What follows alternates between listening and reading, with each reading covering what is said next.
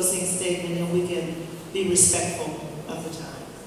So we'll, we'll start with, uh, gentleman, uh, Mr. Myers. And the question is,